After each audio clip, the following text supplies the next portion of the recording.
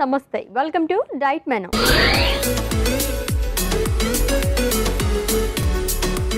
ఈ వీక్ మొత్తం కూడా మనం పేలియో డైట్ గురించి మాట్లాడుకుంటున్నామండి. కొంచెం డిఫరెంట్ డైట్ అండ్ అందరికీ యూస్ఫుల్ అయ్యే డైట్. సో సెకండ్ డేలోకి ఎంటర్ అయిపోయాం కాబట్టి ఈ రోజు ఇంకొంచెం ఇన్ఫర్మేషన్ తెలుసుకుని ఏం రెసిపీ చేస్తారో చూద్దాం. Let's invite our nutritionist Alekhya గారు. హాయ్ అలేఖ్య గారు. హాయ్ అశ్విని గారు. వెల్కమ్ అండి. Thank you. ఎలా ఉన్నారు? చాలా బాగున్నా. మీరు ఎలా ఉన్నారు? యాజ్ యూజువల్ నేను కూడా చాలా చాలా బాగున్నానండి. అండ్ పేలియో డైట్ కొంచెం డిఫరెంట్ డైట్ గురించి మాట్లాడుకుంటున్నాము. లైక్ మన యాన్సిస్టర్స్ వాళ్ళు చేసే డైట్ అని చెప్పచ్చు. యాక్చువల్లీ ఆ డైట్ కూడా కాదు. అప్పుడు తినే ఫుడ్ చాలా మంచిది. ఇప్పుడు మనం పాటిస్తున్నాం అది. అప్పుడు వాళ్ళంతా హెల్తీగా తినేవాళ్ళు కాబట్టి ఎక్కువగా ఈ షుగర్లు బీపీలు ఇలాంటివి రాకుండా చాలా హెల్తీగా ఉండేవాళ్ళు అవును. సో ఈ రోజు కూడా మాకు ఇంకొంచెం ఇన్ఫర్మేషన్ ఇచ్చేసేయండి పేలియో డైట్ గురించి అండ్ అలాగే ఏం రెసిపీ చేస్తున్నారు? సో ఈరోజు వచ్చేసరికి మనం స్టీమ్ ఫిష్ బౌల్ చేసుకుంటున్నాం. స్టీమ్ ఫిష్ బౌల్ ఓకే ఆ టైంలో ఫిష్ అవి కూడా అవైలబుల్గానే అవే ఉంటాయి ఎక్కువగా కదా, అవైలబుల్. ఉండేది.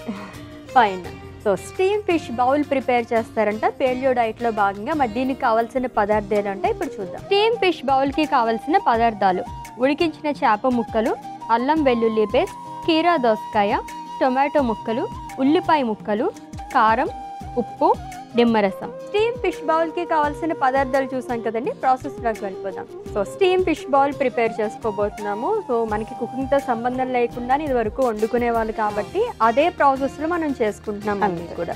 సో ఇప్పుడు తీసుకొచ్చిన ఫిష్ కానీ అండ్ సోకాల్ ఇంగ్రీడియంట్స్ కానీ మనకి పేలియో డైట్లో ఏ విధంగా ఉపయోగపడతాయి? అండ్ ఎవరు చేయొచ్చు పేలియో డైట్ అనేది? సో పేలియో డైట్లో మనకు మోస్ట్ ఆఫ్ ద టైం ఏంటి అంటే మనకి ఈజీగా ఏవైతే లైక్ అవైలబుల్ ఉంటాయో అంటే ఎక్కువగా ప్రాసెసింగ్ లేకుండా ఉండే ఫుడ్స్ అన్నమాట. అంటే ఆ, ఇప్పుడు రిఫైన్డ్ గ్రెయిన్స్ కానీ రైస్ కూడా మనం పొట్టు తీసేసి పాలిష్ చేసి ఇలాంటివన్నీ ఆ టైంలో దొరకవు. అండ్ ఈవెన్ లైక్ ప్రాసెస్ ఎక్కువ ప్రాసెస్ చేసి మైదా వీట్ ఇవా ఇలాంటివి కూడా ఎక్కువగా దొరకవు అనమాట సో ఆ టైంలో ఏంటి అంటే వాళ్ళు మోస్ట్ ఆఫ్ ద టైం వాళ్ళ ఫుడ్ కోసం అని చెప్పేసి ప్లక్ అండ్ ఈట్ అంటే ఈజీగా వాళ్ళకి ఏదైతే అందుబాటులో ఉంటుందో దాన్ని తీసేసుకొని అలా డైట్లో ఇంక్లూడ్ చేసుకునే వాళ్ళు సో ఆ దాంట్లో భాగంగానే మనకి వాళ్ళకి మీట్ అనేది ఎక్కువగా లభిస్తుంది. ఏదో చికెన్ కానీ రెడ్ మీట్ కానీ హంట్ హంటింగ్కి వెళ్తారు కాబట్టి ఫిషెస్ కానీ ఎక్కువగా దొరుకుతాయి అన్నమాట సో అందుకోసమని మనం ఈ ఫిష్ అనేది తీసుకున్నాము. ఫిష్ వచ్చేసరికి మనకు ఆల్రెడీ తెలుసు ఒమేగా త్రీ ఫ్యాటీ యాసిడ్స్ అనేవి ఎక్కువగా ఉంటాయి. మన హార్ట్కి హెల్త్కి చాలా మంచిది మన స్కిన్కి చాలా మంచిది. అండ్ దాంతోపాటు మనకు వెజిటేబుల్స్ అన్నమాట. వెజిటేబుల్స్ ఏవన్నా ఇంక్లూడ్ చేసుకోవచ్చు. ఈ డైట్లో మనకి వెజిటేబుల్స్కి ఫ్రూట్స్కి రూట్స్ అండ్ ట్యూబర్స్ దుంపకూరలకి వీటిలో ఎటువంటి రెస్ట్రిక్షన్ అనేది ఉండదు. ఓకే సో ఈ డైట్ వల్ల యూజ్ ఏంటంటే మనం ఏది అవాయిడ్ చేయాల్సిన అవసరం లేదు ఎక్సెప్ట్ మీరు చెప్పినట్టు. Junk food junk food process food ఈ కైండ్ ఆఫ్ ఫుడ్ మాత్రం మనం అవాయిడ్ చేసుకుంటాము. అది ఎప్పుడు మనం ఏ డైట్లో తీసుకున్నా సరే అవాయిడ్ చేసుకుంటాం అనుకున్నాం కాబట్టి ఇది చాలా మంచిదన్నమాట. దీనివల్ల వెయిట్ లాస్కి అన్న ఉపయోగపడుతుందా? సో ఇది మంచి ఒక బ్యాలెన్స్ డైట్ లాగే ఉంటుంది అశ్విని. ఎస్పెషల్గా మనం కార్బోహైడ్రేట్స్ అనేది సపరేట్గా యాడ్ చేయము. అంటే ఎక్కువగా మనం ఇప్పుడు తీసుకునే డైట్లో ఏంటి అంటే ప్రతిసారి మనం తీసుకునే కర్రీతో పాటు దాల్తో పాటు పప్పు రోటీయో కంపల్సరీ తీసుకుంటాం. బట్ అలాంటి ఎక్స్ట్రా కార్బోహైడ్రేట్స్ అనేవి ఉండవు. అది మనకి వచ్చే కార్బోహైడ్రేట్స్ కూడా ఫిష్ నుంచి లేకపోతే తీసుకునే అదర్ వెజిటేబుల్స్ నుంచే వస్తుంది. సో మనకి వెయిట్ లాస్కి ఎక్కువగా యూజ్ అవుతుంది. అండ్ ఈ డైట్ చేయడానికి రెస్ట్రిక్షన్ అంటే మనకి అందరు ఏజ్ గ్రూప్స్ వాళ్ళు చేయొచ్చు బట్ దీంట్లో మనకి కొన్ని ఎక్స్క్లూడెడ్ ఫుడ్స్ అనేవి ఉన్నాయి. ఎస్పెషల్లీ డైరీ ప్రోడక్ట్స్ అనేవి ఉండదు. సో డైరీ ప్రోడక్ట్స్ అనేది తగ్గినప్పుడు ఏంటి అంటే మనకి ఫిష్ వీటిలలో కాల్షియం వస్తుంది కానీ చాలా మినిమల్లో ఉంటుంది.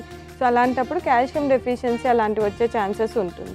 అండ్ లెగ్యూమ్స్ అంటే పల్సెస్ పప్పు దినుసులు ఎక్కువగా ఉండదు. Hmm. అండ్ మనం నాన్ వెజ్ తీసుకుంటాము దాని త్రూ ప్రోటీన్ అనేది వస్తుంది.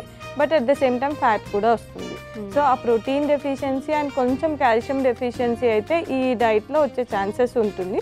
సో అవి రెండు మనం వేరే అదర్ సోర్సెస్ లాగా కూడా తీసుకుంటే మనకి అవి రాకుండా ఉంటాయి. సో మనకి ఇప్పుడు అవి కూడా అవైలబుల్గా ఉన్నాయి కాబట్టి వాటిని కూడా బీట్ చేయొచ్చు. ఎస్ సో అండ్ పిల్లలు కొంచెం ఎక్కువగా ఫాలో అవ్వకుండా బికాస్ వాళ్ళకి కాల్షియం ఎక్కువ ఇంపార్టెంట్ కాబట్టి ఇన్ కేస్ వాళ్ళకి ఇటువంటి డైట్ ఫాలో అయినప్పుడు కాల్షియం వేరే అదర్ ఫార్మ్స్ మఖానానో లేకపోతే ఏదైనా వేరే కాల్షియం ఎగ్స్ ఉంటాయి కదా అలాంటి ఫామ్లో కూడా మనము ఇస్తూ ఉంటే అది ఎఫిషియన్సీ రాకుండా హ్యాపీగా వాళ్ళు కూడా ఫాలో అవుతారు ఏం చేయాలండి ఫస్ట్ సో నాకు ఒక మిక్సింగ్ బౌల్ ఇచ్చి. సో కట్ చేసిన టొమాటో ముక్కలు వేస్తాను. నెక్స్ట్ మనం కట్ చేసుకున్న కీరా ముక్కలు కూడా యాడ్ చేస్తాం ఓకే కొద్దిగా ఉల్లిపాయ ముక్కలు. స్టీమ్డ్ ఫిష్ తీసుకున్నాం కదా మనం. సో ఇదే ఎందుకు ఫిష్ని స్టీమ్ చేసుకోవాలి? ఇది ఏ విధంగా ఉపయోగపడుతుంది పెరియో డైట్లోని సో మనకి ఈ పెలియా డైట్లో కుకింగ్ మెథడ్స్ కూడా ఏంటి అంటే మనకి ఎక్కువగా బేకింగ్ అలాంటివి ఆ టైంలో వాళ్ళకు ఉండవు కాబట్టి మోస్ట్ ఆఫ్ ద టైం వాళ్ళు ఏంటి అంటే దాన్ని ఎదర్ ఫైర్ మీద కాల్ చేసుకొని లేకపోతే బాయిల్ లాగా చేసుకొని తీసుకునే ప్రాసెస్ ఎక్కువగా ఫాలో అయ్యేవాళ్ళు సో అందుకోసమని స్టీమింగ్ వల్ల ఏంటి అంటే మనం స్టీమ్ చేసినప్పుడు దాంట్లో ఉన్న న్యూట్రిషనల్ ప్రాపర్టీస్ అవన్నీ కూడా లాస్ అవ్వవు. ఇన్ కేస్ బాయిల్ చేస్తే ఏంటి అంటే ఆ వాటర్ నుంచి అవన్నీ వెళ్ళిపోతాయి. సో అట్లా కాకుండా మనం స్టీమ్ చేసినప్పుడు మనకి ఆ ఫిష్ బాయిల్ అయిపోతుంది అండ్ ఉడుకుతుంది యాజ్ వెల్ యాజ్ దాంట్లో ఉన్న ప్రాపర్టీస్ కూడా రిటైన్ అవుతాయి. ఓకే. సో అందుకోసమని మనం స్టీమింగ్ ప్రాసెస్ని ప్రిపేర్ చేసామన్నమాట ఓకే డన్. సో దీంట్లో మనం నెక్స్ట్ కొద్దిగా ఉప్పు వేసుకుంటున్నాం. ఓకే. కొద్దిగా కారం. నెక్స్ట్ మనం కొద్దిగా నిమ్మరసం యాడ్ చేసుకుంటాం ఓకే. సో దీన్ని ఒకసారి మిక్స్ చేసేసుకోండి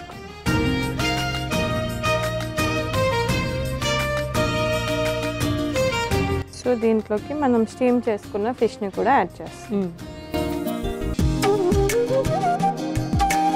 సో దీన్ని ఒకసారి మిక్స్ చేసుకొని మనం సర్వింగ్ బౌల్లో తీసేస్తాం. ఓకే.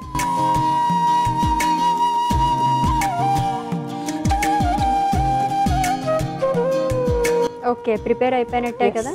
సో సర్వింగ్ బౌల్లోకి తీసేసుకునే ముందు సో పేలియో డైట్ చేయడం వల్ల పై నెగిటివ్ థింగ్స్ ఏమన్నా చెప్పండి. ఏమన్నా అయ్యే ఛాన్సెస్ ఉంటాయి? ఎందుకంటే కొన్ని కొన్ని డెఫిషియన్సీస్ వచ్చే. ఛాన్సెస్ ఉంటాయి కదా అవి చెప్పండి. సో జనరల్గా పెలియో డైట్ అనేది లైక్ మనము కొద్దిగా మోడిఫికేషన్స్ చేసుకొని ఫాలో చేసినట్లయితే ప్రాబ్లం లేదు. బట్ అలాగే ఎగ్జాక్ట్గా ఫాలో అయినప్పుడు ఏంటి అంటే దీంట్లో మనం ఇంతకు ముందు కూడా చెప్పుకున్నాం కాల్షియం అనేది తక్కువగా ఉంటుంది. సో కాల్షియం రిలేటెడ్ ఇష్యూస్ అంటే బోన్స్ కొద్దిగా లైక్ ఈజీగా బ్రిటిల్ అవ్వడం లేకపోతే టీత్ ఇష్యూస్ కానీ ఇలాంటివి వచ్చే ఛాన్సెస్ ఉంటుంది. సో అందుకోసం అని చెప్పేసి కాల్షియం అదర్ సోర్సెస్ అట్లీస్ట్ న్యాచురల్గా మనకి కాల్షియం దొరుకుతుంది కదా లైక్ మకానా స్నాక్స్ కానీ రాగి కానీ అట్లాంటివి ఏదైనా ఇంక్లూడ్ చేసుకొని కాల్షియంని మీట్ అవుతే బెటర్ అండ్ నెక్స్ట్ వచ్చేసరికి ప్రోటీన్ కూడా తక్కువగా ఉంటుంది. సో ప్రోటీన్ అనేది చాలా ఇంపార్టెంట్ మనకు మజిల్ బిల్డింగ్ కానీ మనం కంప్లీట్గా ప్రోటీన్ అనేది అవాయిడ్ చేస్తుంటే మనకి మజిల్ బ్రేక్ డౌన్ అనేది అయ్యే ఛాన్సెస్ ఉంటుంది. సో అందుకోసం అని చెప్పేసి ప్రోటీన్ని అదర్ సోర్సెస్ లైక్ ఈ నాన్ వెజ్ కాకుండా ఎగ్ వైట్స్ అట్లా బ్యాలెన్స్ చేసుకుంటూ ఉండాలి. బికాస్ ప్రోటీన్ రిక్వైర్మెంట్ మనం ఆల్రెడీ చాలా చాలా డిస్కస్ చేసుకున్నాం. At least point eight to one gram per KG body weight ఉంటుంది. ఓకే ఫర్ ఎగ్జాంపుల్ ఒక పర్సన్ ఫిఫ్టీ కేజీస్ ఉంటే తనకి almost forty five to fifty grams of protein requirement ఉంటుంది but ఈ పేలియో డైట్లో మనకి ప్రోటీన్ సోర్స్ తక్కువ అయినప్పుడు అంత మీట్ అవ్వకపోతుంది.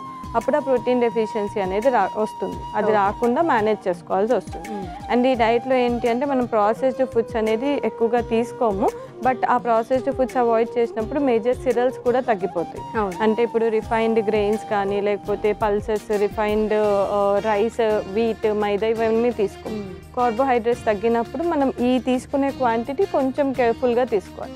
దీన్ని కూడా తగ్గించి కంప్లీట్ కార్బోహైడ్రేట్స్ అనేది తీసుకోకుండా ఉంటే ఎనర్జీ ఉండదు. సో దట్ వాళ్ళకి ఎక్కువగా ఫెటిక్ కళ్ళు తిరగడం ఇలాంటివి అవుతూ ఉంటాయి. ఓకే. అండ్ ప్రాపర్ హైడ్రేషన్ కూడా పెట్టుకోవాల్సి వస్తుంది. ఆల్రెడీ మనం రూట్స్ అండ్ ట్యూబర్స్ తీసుకుంటున్నాం కదా అని వాటర్ నెగ్లెక్ట్ చేస్తే మాత్రం బాడీ డిహైడ్రేట్ అవుతుంది. ఓకే డన్ సో చాలా ఇన్ఫర్మేషన్ చెప్పేశారు. సర్వ్ చేసుకుందామా? ఖచ్చితంగా.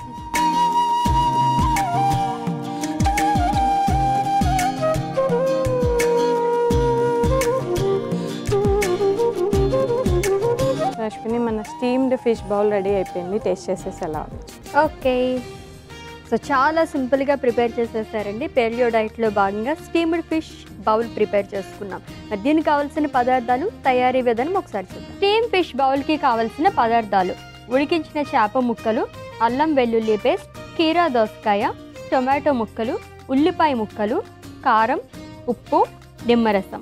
స్టీమ్ ఫిష్ బౌల్ తయారు చేసుకునే విధానం. ముందుగా మిక్సింగ్ బౌల్ తీసుకుని అందులో టొమాటో ముక్కలు కీరా దోసకాయ ముక్కలు ఉల్లిపాయ ముక్కలు ఉప్పు కారం నిమ్మరసం ఉడికించిన చేప ముక్కలు వేసి కలుపుకొని సర్వింగ్ బౌల్లోకి తీసుకుని సర్వ్ చేసుకోవాలి. అంతే steam fish bowl ready. Steamed fish బౌల్కి కావాల్సిన పదార్థాలు అలాగే తయారీ విధానం చూసాం కదండి. టేస్ట్ చేసి ఎలా ఉందో చెప్తాను